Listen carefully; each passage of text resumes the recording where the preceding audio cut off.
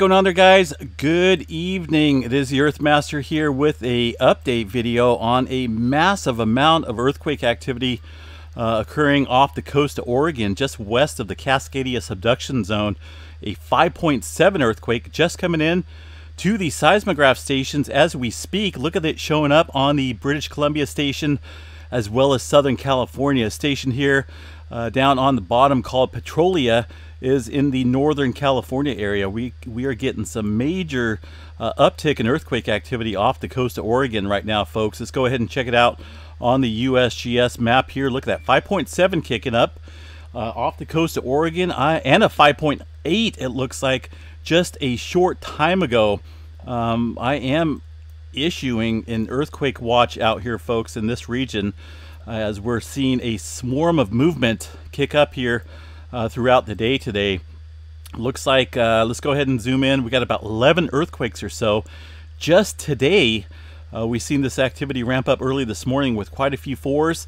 These magnitudes are getting bigger, folks. This is an impending sign of some major buildup out here in this area of the uh, Pacific and the plate out here. We got the Cascadia subduction zone that sits off here to the east, right, by about looks like 150 miles or so. This activity is striking in the, the Blanco fracture zone.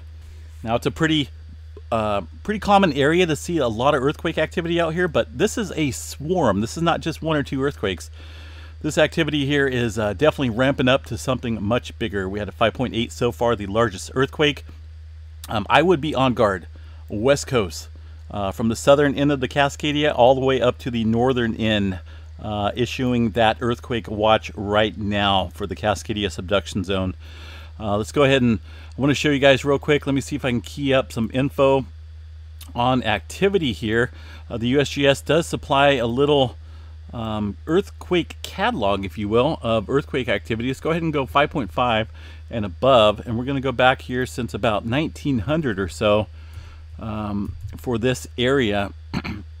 Got to draw a rectangle here on the map and we'll check out the earthquake activity that has occurred out here um, throughout time but it's definitely uh, I think this is brewing to something much bigger folks so hold hold with me here for just a minute. We'll key this up here. So yeah here's the activity throughout um, excuse me throughout uh, at least history far as 5.5 earthquake activity and above goes.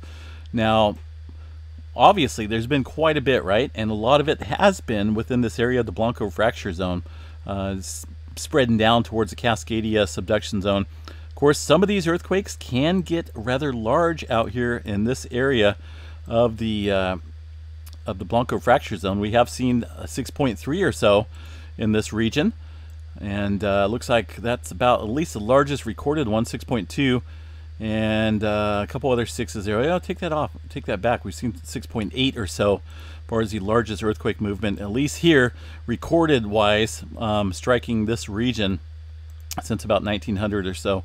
But uh, it's always, it's I don't know. I have a feeling something much bigger is brewing. You got to look at the uh, the possibility here. Did did we have this type of swarming when we had these other earthquakes take place? Let's see 1951 looks like we had a couple back in 1951 all other ones at least 5.5 and above showing uh, no significant swarming prior. Maybe uh, right here 6.3 and then a couple other ones around the same date couple fives. So it looks like it's possible um, some of these earthquakes have struck on the same date in the past. Uh, so it's not uncommon but whenever we see this earthquake activity in this type of scale uh, and close to a area subduction zone, Cascadia subduction zone. It's been 320 years since the last full rupture. Of course, intervals range from uh, they're variable. Some people say 300 to 500 years. Some people say 250 to 500 years. It's it's a, a variable estimate there, but it's been 320 years of buildup here along the Cascadia, and it's something to watch pretty closely. So um, I'm definitely issuing a, a, earthquake watch out here, uh, Northern California, northward off the coast of Vancouver Island, uh, up here where it ends at the Cascadia subduction zone here in the north. Let's go ahead and check out the Canadian uh, map here real quick. See if I can get these guys popped up. See if they're reporting any type of uh, info out here as well. Um, these guys are not covering the earthquake activity down south, or off in the ocean, I should say, in the Pacific.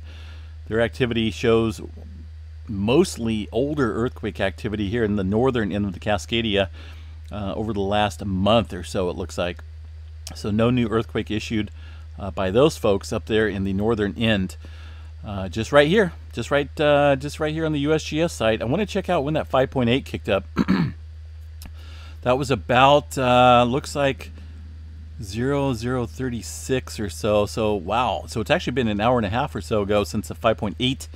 The 5.7 just came in uh, now, and of course that is showing up pretty significantly on the seismograph stations once again here on the map.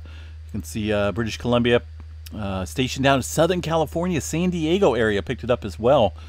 Uh, and also the most closest one, or, or, in between the BC and Northern California, we've got a uh, Petrolia station there. This station sits uh, just south of the Eureka region. That picked it up pretty nicely as well.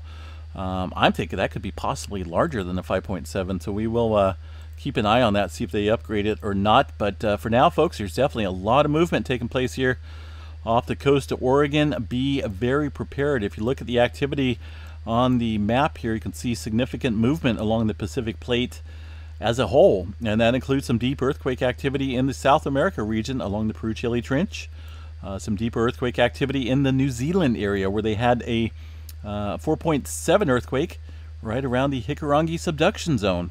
That's another major player in possibly producing a sizable earthquake in that region um, and also some deeper movement up north here too. So uh, I'm going to get this update video out, folks, uh, and possibly cover it a little bit more in detail here in an hour or so. But I wanted to get this notification out to the viewers.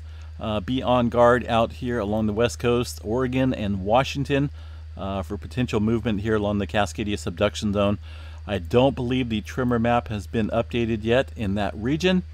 12.7, uh, even though shown zero, uh, it's possible here that they have not updated uh, any of the tremor activity. It normally comes in all at once at about 6 p.m. my time, and we still got about 20 minutes or so before that activity gets updated. Anyway, for now, uh, major earthquake swarm occurring off the coast of Oregon uh, with some significant earthquake movement in the upper 5 range kicking up. So stay safe, guys. We will chat you guys in a little bit